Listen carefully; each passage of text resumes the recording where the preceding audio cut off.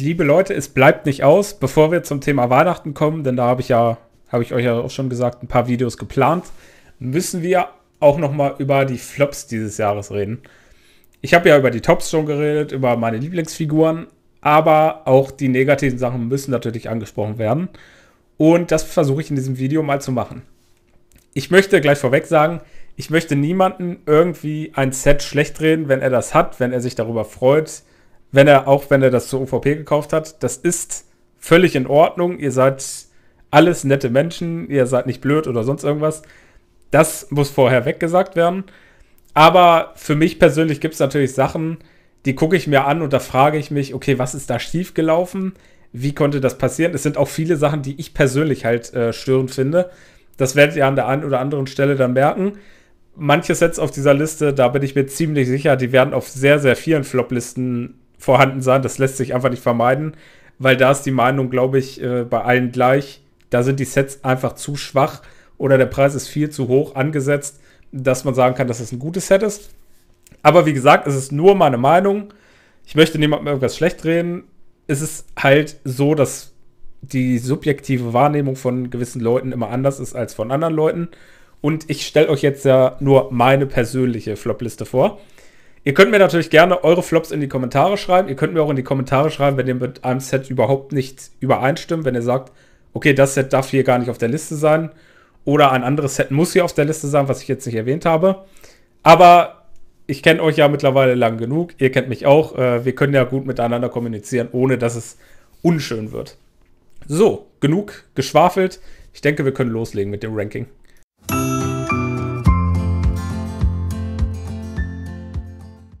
Wir haben dieses Jahr Sets zu Jurassic Park bekommen und Jurassic Park ist für mich einer der besten Filme, die es jemals gegeben hat. Zumindest einer der besten Dinosaurierfilme, aber generell ist es auch ein sehr spannender Film.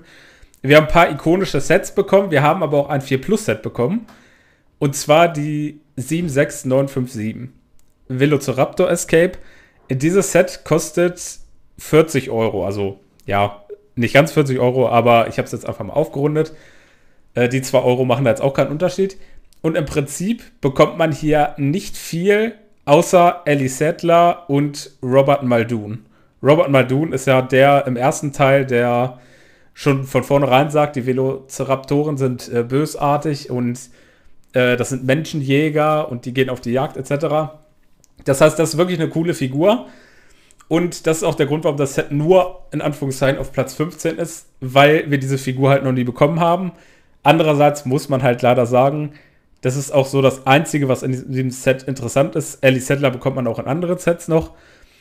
Aber mit sehr guten Rabatten, teilweise 40 bis 45 Prozent Rabatt, ist das dann vielleicht zu verschmerzen, wenn man noch keinen äh, Raptor hat, wenn man vielleicht die anderen Teile irgendwie gebrauchen kann.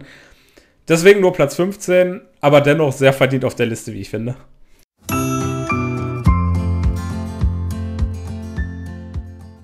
Und kein Ranking 2023 ohne 100 Jahre Disney. Wir haben auf Platz 14 dieses Peter Pan und Wendy Set quasi mit dem Elizabeth Tower, wo der Big Ben, ben ja drin ist, also die Glocke. Und ich habe damals die Bilder gesehen und gedacht, hey, das, das sieht echt cool aus. Das, äh, optisch gefällt mir das sehr gut. Das soll ja bei Nacht sein, damit das auch erklärt, warum das alles blau ist. Ähm, diese Uhren, die sollen leuchten irgendwie habe ich so gedacht, ey, das ist ja ganz cool. Okay, es ist Disney, es wird wahrscheinlich trotzdem so um die 40, 45 Euro kosten. Der Kostenpunkt bei dem Set sind halt 65 Euro. Und das finde ich halt absolut nicht gerechtfertigt. Das muss man einfach so sagen. Ja, es ist äh, diese Disney 100 Jahre Fliese mit dabei. Es sind ein paar coole Figuren dabei. Peter Pan, äh, Wendy und auch ähm, Tinkerbell. Nichtsdestotrotz ist der Preis hier für mich deutlich zu hoch angesetzt.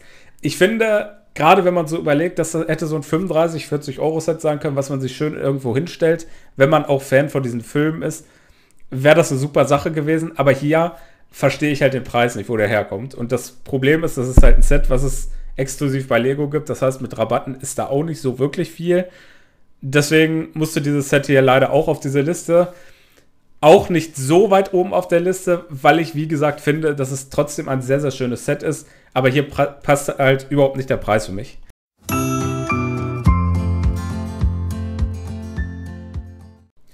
Auf Platz 13 kommt der Gaming Truck angefahren. Und ich muss einfach sagen, die Idee gefällt mir überhaupt nicht. Dass wir hier weggehen von Klemmbausteinen und ja, es ist alles Klemmbaustein, ihr braucht keine App oder sowas, aber dass wir damit bewerben, wie cool es ja eigentlich ist, wenn man Videospiele spielt und Klemmbausteine gehören so der Vergangenheit an. Ich weiß, vielleicht interpretiere ich da zu viel rein, vielleicht passt das für mich persönlich auch einfach nicht zu Lego, aber an sich gefällt mir dieses Set halt wirklich nicht und die 45 Euro, die dafür aufgerufen werden, sind natürlich der Punkt, der das dann halt wirklich zu einem nicht guten Set für mich persönlich macht. Es sind ein paar nette Figuren dabei, auch mit ein paar schönen Prints, aber das täuscht da nicht drüber hinweg, dass dieses Set für mich auch, ja, es, es fehlt für mich die Bedeutung in der Lego-Welt für dieses Set. Also, wie gesagt, vielleicht könnt ihr das nachvollziehen, vielleicht denkt ihr auch, ey, das ist eine coole Idee und Gaming macht ja Spaß und warum soll man das dann nicht in der Lego-Version auch haben? Für mich ist das irgendwie widersprüchlich. Also, ich hoffe, ihr könnt das irgendwie verstehen, aber deswegen auch für mich eine Enttäuschung dieses Jahr weil das den Lego-Gedanken für mich halt einfach nicht wirklich einfängt.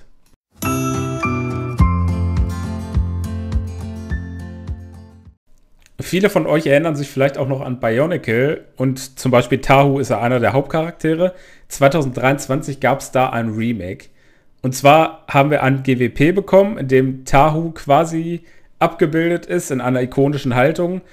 Und da muss ich halt sagen, das ist für Bionicle-Fans natürlich eine Riesenenttäuschung, weil Bionicle lebt von diesen Formteilen, Bionicle lebt von diesen Masken, von diesen äh, ganzen Technikteilen und das passt einfach nicht. Also ich bin kein großer Bionicle-Fan, ich kann aber jeden Bionicle-Fan verstehen, der sagt, das ist eine riesengroße Enttäuschung und das killt halt Bionicle komplett. Also wenn dieses Set irgendwie erfolgreich gewesen wäre, was es äh, meiner Meinung nach persönlich jetzt nicht unbedingt ist, dann wäre vielleicht die Chance da gewesen, dass da irgendwie in Zukunft noch mal was kommt. Aber bei Bionicle fehlen die Formteile.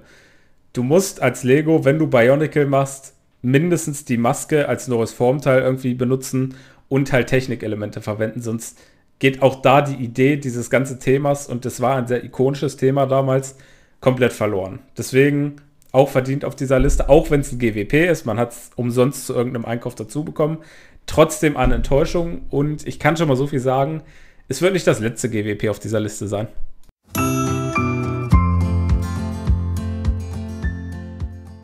Bevor wir zu den Top 10 kommen, müssen wir noch über Platz 11 reden und das ist der Ninjago-Tempel. Und da muss ich sagen, da habe ich die ersten Bilder auch gesehen, dachte so, hey, das ist ja echt ganz cool, mal ein Gebäude, vielleicht so ein Tempel, so ähnlich wie dann Ninja Castle. Und dann sieht man die Rückseite und denkt sich, hey, die haben ja drei Viertel des Sets irgendwie vergessen. Wir wissen mittlerweile, Lego baut nicht mehr alles zu. Ganz klare Sache. Man hätte da vielleicht äh, jetzt sagen können, okay, man kauft sich viermal das Set. Dann hat man aber das Problem, man hat die ganzen Ninja nochmal doppelt, die ja alle Namen haben. Was soll man dann damit? Und äh, man kann ja nicht erwarten, dass man dann 400 Euro ausgibt, um ein komplettes Set dann zu haben. Das äh, hat mich tatsächlich sehr negativ überrascht, dass da einfach wirklich keine Spieltiefe und nichts ist. Es sind ein paar schöne Prints dabei. Ich finde die Figuren an sich auch nicht schlecht. Aber dass du dieses Set halt anguckst und nur aus einem richtigen Winkel sehen kannst, ah, okay, so sieht es ganz gut aus, so sieht es auch aus, als ob da irgendwie hinten noch was passiert. Das ist halt ein bisschen schade und ich glaube, das dürfte auch viele Ninjago-Fans ein bisschen enttäuscht haben. Für Kinder zum Spielen vielleicht nicht schlecht, wobei wir, wie gesagt, sagen müssen, Spieltief ist da nicht wirklich vorhanden. Die Optik von dem Gebäude an sich, deswegen ist es auch nicht in den Top 10, gefällt mir, aber da ist auch irgendwas schiefgelaufen.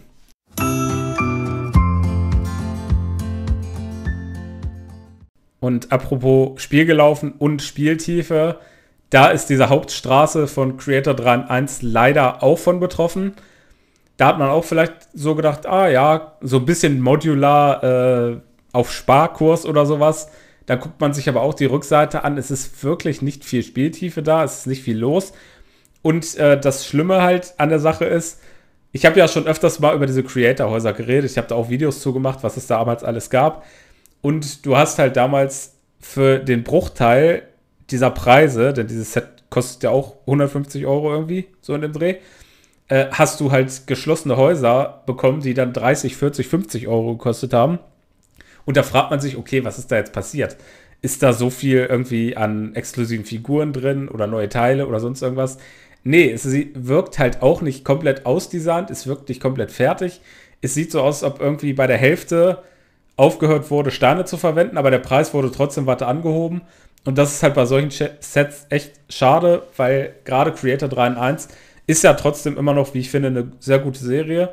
Bietet immer mal wieder auch von klassischen Themen irgendwie neue Sachen. Aber mit dem Set haben sie sich auf jeden Fall auch nicht so wirklich einen Gefallen getan.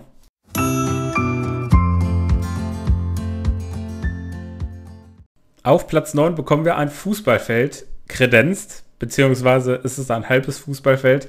Ist ein bisschen die Art von einem Stadion mit dabei. Es sind viele Fußballerinnen mit dabei, was an sich finde ich jetzt nicht so schlimm ist. Also Frauenfußball wird ja immer beliebter, wird ja immer äh, attraktiver. Ist natürlich äh, nicht oder noch lange nicht auf dem Stand der Männer, auch was Bezahlung angeht, was vielleicht Attraktivität angeht muss man einfach so sagen. Aber ich finde es trotzdem eine Enttäuschung, denn das ist ein 100-Euro-Set. Wir bekommen nicht mal ein ganzes Spielfeld. Wir haben natürlich verschiedene Charaktere, verschiedene Fußballerinnen, die in dem Set enthalten sind. Das heißt, es ist natürlich eine Art und Weise eines Lizenzsets, ganz klar. Wir haben auch Fußballfans mit dabei. Ich möchte aber euch daran erinnern, dass wir 2000 bis 2003 auch schon mal ein Fußballthema bei Lego hatten. Und da konnte man sich ein riesengroßes Fußballfeld kaufen, Einzelteile kaufen, verschiedene Mannschaften zusammenstellen, mit irgendwelchen Überwachungswagen, mit äh, sogar einem Hooligan-Trupp irgendwie, der festgenommen wurde. Und das ist kein Vergleich mit dem Set, was wir dann bekommen haben. Das ist einfach so. Äh, wenn ihr Interesse daran habt, ich bin ja auch selber Fußballfan, vielleicht mache ich über diese Sachen, über diese ganzen äh, Sportsachen oder vor mir aus auch nur Fußballsachen auf jeden Fall auch nochmal ein Video weil ich das schon wirklich cool fand, was es da damals gegeben hat.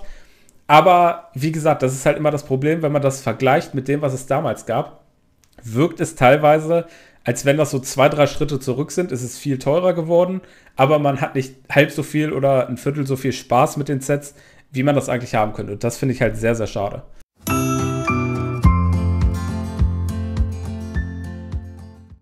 Dass Batman und DC mittlerweile wirklich sehr traurig sind, muss ich euch nicht mehr erzählen. Dass das aber immer wieder schlimmer werden kann, das zeigt dieses 4 Plus Set. Wir haben 54 Teile, wir haben Batman und den Joker, so standardmäßig, das gibt es ja öfters, diese Sets. Auch 4 Plus mäßig, das ist dann vielleicht mal irgendwie ein 12-Euro-Set, ein 15-Euro-Set, vielleicht. Was schon hart ist, dann mal irgendwie 16, 17, 20 Euro. Dieses Set hier hat im Prinzip nichts enthalten und kostet 27 Euro als ich den Preis gesehen habe, dachte ich, okay, die haben sich vielleicht vertan. Das äh, kann ja eigentlich nicht sein, weil da ist ja nichts drin. Also da ist ja kein Gegenwert im Prinzip für drin. Aber es kostet tatsächlich 26 Euro. Man kann diesem Set nur zugutehalten, wenn man noch keinen 120.000. Batman hat, hat man immerhin noch einen Joker drin, den man theoretisch, wenn man Batman-Fan ist, natürlich auch schon hat. Aber es kommen ja auch immer wieder Fans nach. Aber es ist halt schon traurig. Wir haben drei, vier Sets von Batman bzw. DC überhaupt im Programm. Und äh, ein Set davon ist komplett überteuert mit dieser Betthöhle mit 400 Euro. Und das 4 Plus Set, das ist halt wirklich, wirklich nicht gut vom Preis-Leistungsverhältnis her. Die beiden kleineren Sets, die beiden mittleren Sets, also das Batmobil und den Batwing, die finde ich beide eigentlich ganz gut.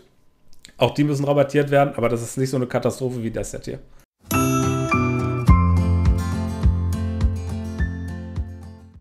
Und im Prinzip das gleiche, was wir eben bei DC hatten, haben wir auch bei Marvel. Wir haben mal wieder ein Iron Man Hulkbuster und ein Thanos.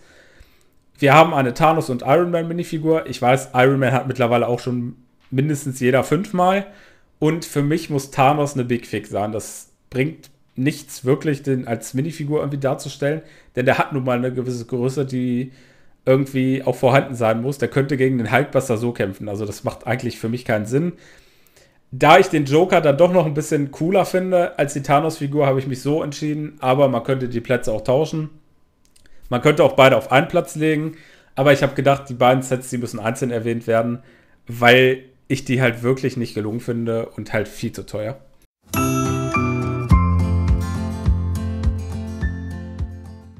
Und Star Wars-Fans, ihr müsst jetzt auch ganz stark sein, denn wir kommen zur Yavin 4 Rebel Base.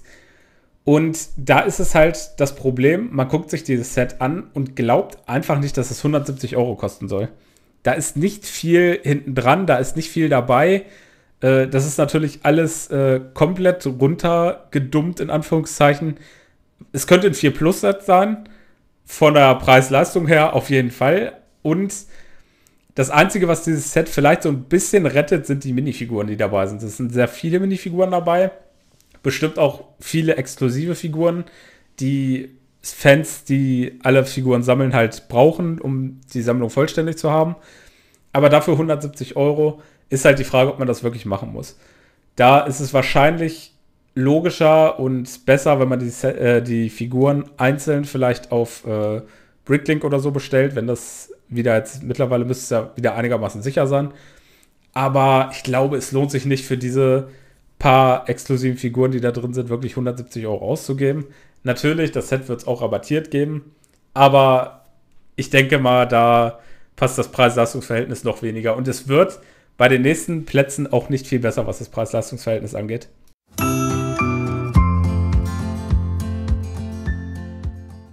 Und liebe Star Wars-Fans, ihr müsst noch ein bisschen mehr laden, denn wir haben das Jedi Tempel-Set. Und wir haben da drei vielleicht interessante Figuren für 43 Euro UVP.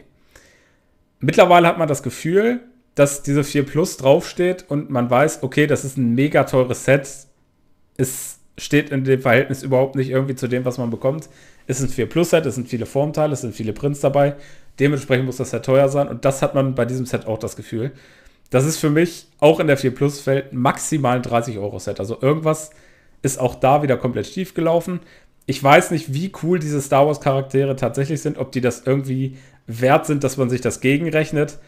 Aber auch da muss man halt ganz klar sagen, Preis komplett daneben, irgendwas schief gelaufen.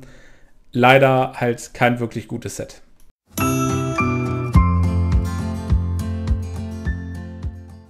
Welches Thema wir natürlich nicht vergessen dürfen, ist City Stunts. Diese Loopings, die da drin sind, das ist immer ein Qualitätsmerkmal, dass ein City Stunt Set relativ teuer ist und irgendwie das nicht so wirklich gerechtfertigt ist. Es ist ein 100-Euro-Set.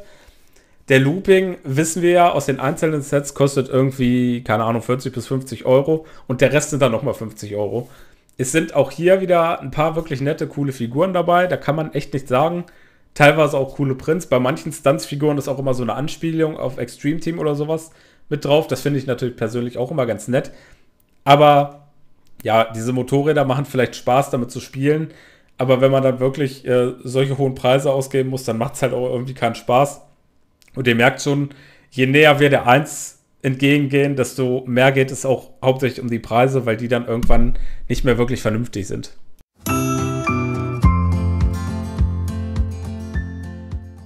Äh, wir kommen zu Captain Marvel und der Hoopty, The Hoopty, The Whoopty, irgendwie so, keine Ahnung. Ihr wisst es, dieses Raumschiff, was irgendwie 100 Euro kostet, obwohl irgendwie um die 400 Teile drin sind, es sind drei Figuren mit dabei. Ja, es sieht eigentlich so von der Optik her gar nicht so schlecht aus, finde ich. Also, es ist jetzt keine Schönheit, aber es ist okay. Auch da hätte man vielleicht sagen können, okay, es ist ein 40, maximal 50 Euro Set. Aber auch da ist der Preis einfach nicht wirklich zu verstehen. Die Figuren, Miss Marvel ist eigentlich ganz okay, aber ich muss auch sagen, ich bin nicht wirklich ein Captain Marvel-Fan und äh, finde jetzt diese Storyline auch nicht wirklich interessant. Das macht es für das Set natürlich nicht unbedingt besser, weil ich mich mit diesem Raumschiff auch nicht wirklich identifizieren kann. Aber dass der Preis auf jeden Fall nicht stimmt, ich glaube, da können wir uns alle einig sein. Da ist irgendwas auch wieder ganz gewaltig schief gelaufen.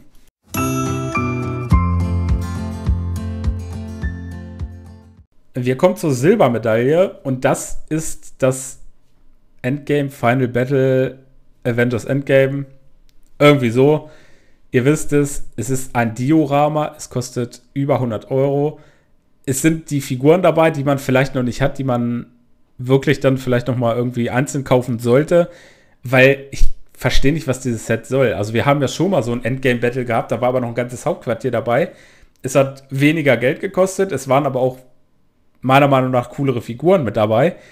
Und jetzt haben wir dieses, ja, wir haben einen neuen Thanos, also mit einem neuen Kopf, aber ja, ich verstehe auch da wieder nicht, wo die 100 Euro herkommen. Man kann vielleicht die Teile einzeln irgendwie verwenden, aber das ist schon hart an der Grenze des, äh, sollte man auf jeden Fall auslassen und nie wieder angucken, das Set. Also, wie gesagt, äh, die Filme von Marvel, das haben wir auch schon drüber öfters geredet, die sind mittlerweile auch nicht mehr so gut und gefühlt geht das eins zu eins über auf die Lego-Sets. Wir haben ein paar nette Sachen dabei gehabt, so wie dieses Freiheitsstatue-Set mit den äh, drei Spider-Man, das fand ich eigentlich ganz nett. Aber teilweise ist da auch wirklich viel Zeugs dabei, wo man sich fragt, okay, wer kauft denn das? Also das, ich weiß es auch nicht. Also wenn es irgendwer von euch hat, wenn es irgendwer von euch cool findet, schreibt mir das gerne in die Kommentare. Vielleicht sehe ich da auch irgendwas nicht anhand der Bilder, was dabei ist, was wirklich cool ist. Aber ich kann es tatsächlich wirklich nicht nachvollziehen. Und dann vor allen Dingen irgendwie teurer als das andere Hauptquartier, was man mal gehabt hat.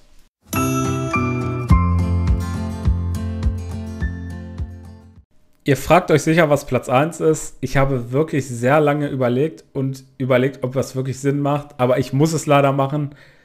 Das Magistus Magical Workshop ist für mich leider der Flop und die Enttäuschung des Jahres. Ich habe mich sehr darauf gefreut, als ich gehört habe, hey, wir bekommen von einem der ikonischsten Magistus-Sets ein Remake, ein Update. Wird bestimmt cool. Sie haben es so oft schon gezeigt. Sie haben es beim Forestman Hideout gezeigt, bei dem Black Trunk Cruiser. Es sind wirklich immer coole Sets.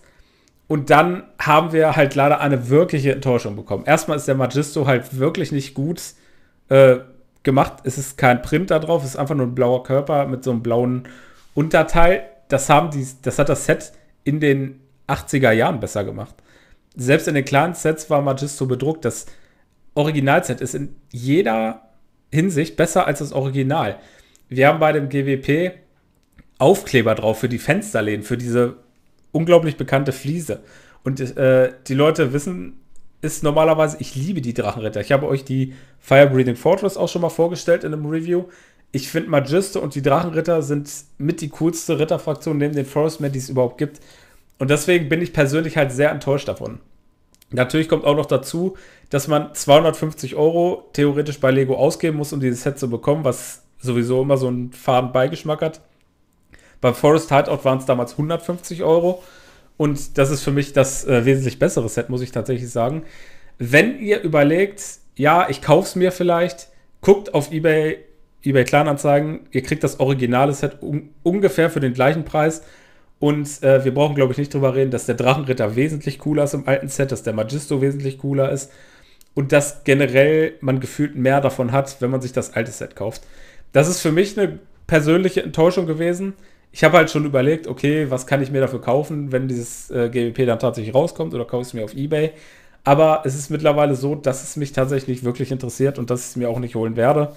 Und das ist halt wirklich schade, gerade bei so einer ikonischen Minifigur, bei einem so ikonischen Thema, bei einer meiner Lieblingsritterfraktionen. Deswegen leider die verdiente Nummer 1 hier. Wie gesagt, da fließt natürlich viel Enttäuschung von mir persönlich mit rein, wenn man das so sagen kann. Also mein Leben ist jetzt nicht vorbei, nur weil die das Set halt so nicht wirklich gut hingekriegt haben. Aber es ist halt so. Und ich denke mal, das kann man einigermaßen nachvollziehen, gerade wenn man so ein Classic-Fan ist. Gerade, ihr wisst es ja, wie das so äh, bei mir auch teilweise ist. Ich bin sehr gespannt, wie eure Liste aussehen würde, was vielleicht eure Enttäuschungen in diesem Jahr waren und vielleicht auch mal so einen Blick in die Zukunft werfen. Was wird vielleicht nächstes Jahr besser? Während wir weitere GWPs bekommen, auch sowas wie Magistus Magical Workshop, wo man sagen kann, okay, ist jetzt nicht unbedingt das Coolste. Vielleicht finden viele von euch das auch wirklich cool. Aber ich kann sagen, ich bin davon enttäuscht. Deswegen, ja. Ich hoffe, euch hat das Video trotzdem gefallen. Wir werden im Dezember auf jeden Fall uns mal ein paar Weihnachtssachen angucken, um mal ein bisschen in Stimmung zu kommen, weil ich mag die Weihnachtszeit ähnlich wie die Halloween-Zeit sehr gerne. Da kommt auf jeden Fall also auch viel. Wenn ihr das natürlich noch nicht getan habt, könnt ihr auch den Kanal abonnieren, damit ihr die Meldungen dafür immer mitbekommt und damit die Videos vielleicht auch ein bisschen Klicks bekommen. Das äh, hilft auch immer ganz gut. Und dann würde ich sagen, hören und sehen wir uns bald wieder. Habt noch einen schönen Tag und bis bald.